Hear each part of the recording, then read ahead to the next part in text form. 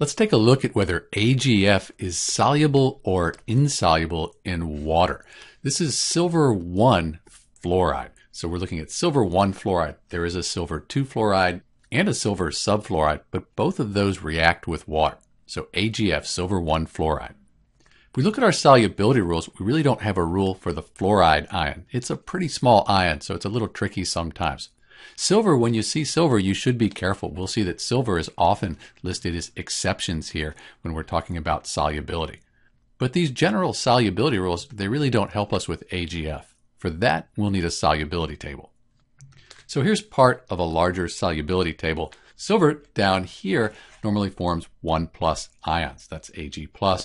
And then right next to here, the fluoride, that's F minus. And we can see that S, this is a soluble compound. So AgF is going to be soluble in water.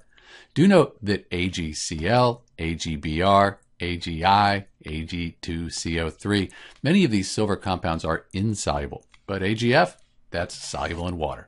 This is Dr. B, and thanks for watching.